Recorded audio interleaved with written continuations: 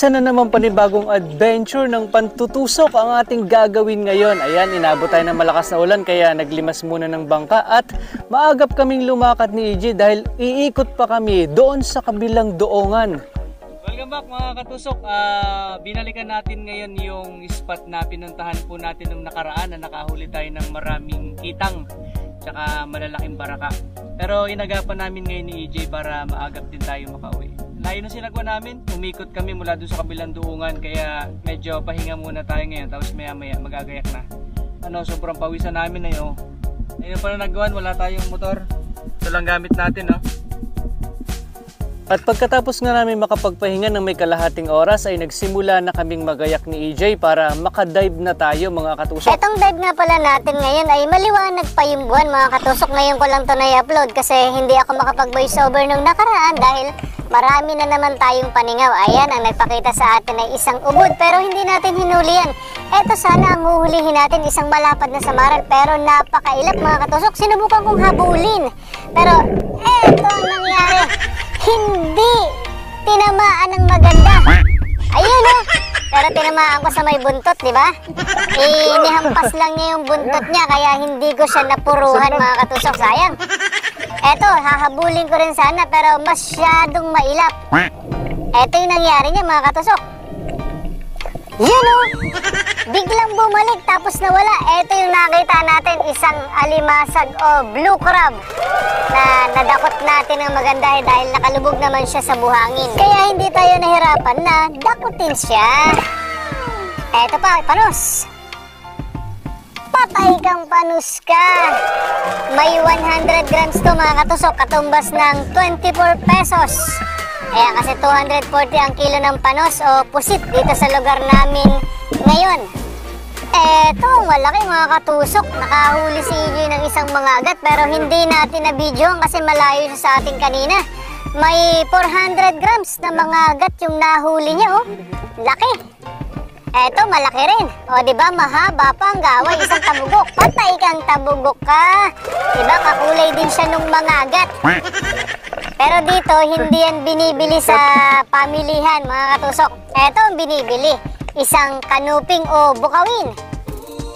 Patay kang bukawin ka. May 200 grams na yan, mga katusok.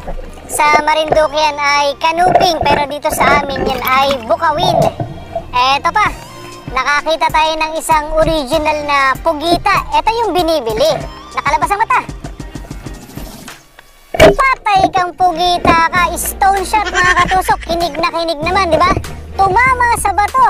Pero tinamaan natin siya sa mata. Ah, parang napuruhan siya dahil pagkatama nung pana, namuti siya. Kahit hindi natin ah, lumusot yung sima niya. Ayan, oh. Medyo pinahirapan tayong tanggalin kaya nakat ko pala yung video kanina. Mahirap. Eto, hindi tayo pinahirapan. Isang baraka. Patay kang baraka ka. May 150 grams na yan, mga katusok. Eto pa, baraka din. Patay kang baraka ka. May 200 grams naman yan, mga katusok. Eto pa, ito pa, talingan. Patay kang talingan ka. Ayan, ah, may 200 grams din yan. Tawag namin dyan talingan kasi may taling siya. Eto, malaki. Kulang-kulang isang kiluhin. Ayan, dinakot natin sa may parteng tainga niya para hindi lumobo. Pinakamalaki mga katusok. Nung tamaan ko nung flashlight, tumago sa bato. Buti na lang nakita ko siya bago siya makatago. Ang laki nito. Baka may dalawang kiluhin to mga katusok. Ayan, ayan, try natin. Baka baka wala pa. Isa itong cuttlefish mga katusok. Pero ang tawag sa Marinduque nito ay bagulan. Dito naman sa amin ay kulambutan. Patay kang bagulan ka! Ang laki nito mga katusok. Ito ang kauna-unahan nating bagulan ngayong bear months. Ayan oh! Unexpected to kasi nasa part lang tayo ng mababaw. Tsaka ngayon lang talaga tayo ulit nakahuli niyan. Pero sa Marinduque, marami na daw silang nahuhuling bagulan. Laki! Oo. Nakalabas. Nang mailawan ko ito bago sa butas.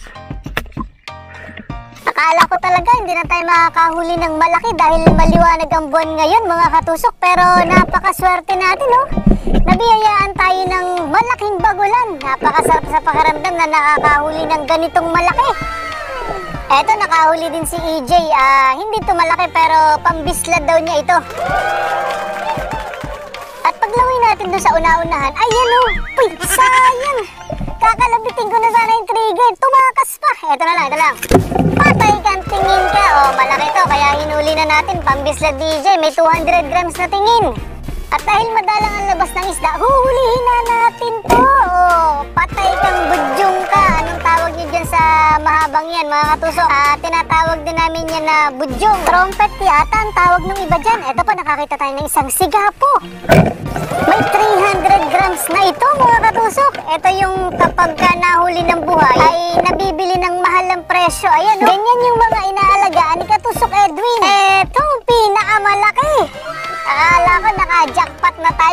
Katusok kasi nailawan ko siya simula sa malayo. Ang laki niya! Putete pala. Eto na lang, danggit na lang, pambislad. Patay kang danggit ka! Ayan, ang langoy na natin ay pabalik na tayo kasi napakadalang talaga ng isda dun sa lugar natin pinuntahan. Eto, hindi natin tututusukin dahil masama na ang tama nila. Nag-wrestling yata sila. Hindi na makabangon yung isa sa ilalim. Ayun oh! Minsan nakikita natin hindi ganyan ang pwesto pero ito, ngayon lang natin napansin na ganyan din pala pwesto nila. Ito, ah, ganito daw ang pagdakot. Ayun o! Sablay! Eto pa, inulit-ulit sablay na naman. Ayun, sa pangatlong pagkakataon, nahuli din ni EJ. Talagang totoo ang kasabihan na try and try until you die.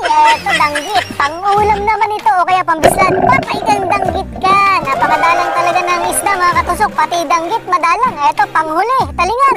Patay kang talingan ka. Oh, may 150 grams mga katusok. Ayan, maagap kaming umahon ni EJ. Eto na yung ating mga nahuli. Ipapasilip ko sa inyo pero mamaya na natin bubuklatin mga katusok. Ayan oh. May nahuli rin pala si EJ na malaki at malapad na palad. Ayan, yung tawag namin dyan ay palad. Nabibili rin yan mga katusok tapos may ilang peraso tayong huli na blue crab o alimasag. Kung tawagin ng iba yan ay kasag. At pagsapit ng liwanag, eto na mga katusok, inere-ready na natin yung mga ibebenta. At mamaya, ipapakita ko sa inyo yung resibo kung magkano yung naging benta natin. Thank you for watching mga katusok. Yan ang huling dive po natin dito sa Kalawag, Quezon dito sa Barangay Santo Angel o mas kilala sa tawag na Pangahoy, malapit sa Pulong Pasig. Ayan po. Ayan, yan po ang Pangahoy mga katusok. Napaka daming tao dyan kaysa dun sa amin sa Buhangin. Tapos, yun ang Pulong Pasig. Yan, zoom natin. Yan po ang Pulong Pasig. Tapos sa inyong mahabang white sand, ayan, nakikita nyo. Lumalabas lang po yan kapag ka malaking hibas. Napakahaba niyan mga katusok. Kaya marami dumadayo dyan, napakagandang maligo po dyan. Yan, ang laki ng hibas ngayon. Nandiyan po ang papuntang Kalawag, Quezon. Yan. Diyan tayo nag ano, Diyan tayo nag-dive nung nakaraan. Papunta roon. Lapit lang. Ayan, dito lang yan. Napakaganda. Ah, maganda na yung mga isda. Medyo may lugar na na nabubuhay na yung mga batuan. May lugar kasi na parang patay na yung batuan eh. Kapag po kasi nilason ang batuhan, matagal bago makarecover, hindi ko alam kung gaano katagal. Ah, hindi pinamamahayan ng isda kapag ka patay na yung mga baton. Ayan, ito po yung ating benta sa dive nating kagabi. Yung ating nahuling pugita, ah pugita, hindi pala, o tama, pugita. Yung pugita natin, ang nabenta lang po doon, yung original. Pero yung tabugok na kulay pula, hindi po yung binibili dito. ano, yung 7 grams, 700 grams, 0.7, kulang sa isang kilo. Ah, nabenta lang po natin ng 35 pesos. Ang mura, no? 35 pesos lang. Wala pong 100 ang kilo.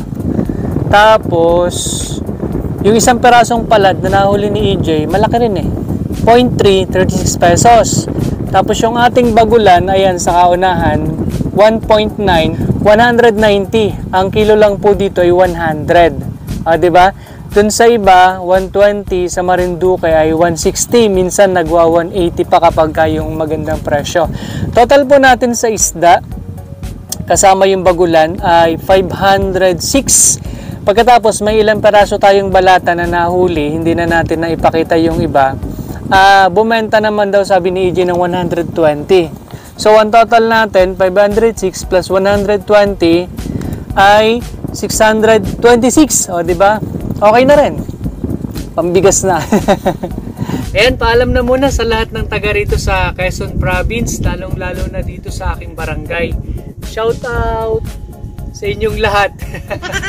sa mga taga Pangahoy, sa mga taga Buhangin, sa mga taga Bilya, Lagay, ah, Barangay Anas, tapos yung mga hindi ko pa nabanggit, sa lahat ng aking mga kababayan dito sa Quezon, Shoutout po sa inyong lahat. Magkita-kita na lang ulit tayo sa susunod. Sana magkita tayo sa susunod na taon. Paalam, Kalawag, Quezon. Balik ka tayo Marinduque. Ingat po kayo palagi at dive safe sa lahat ng nantutusok.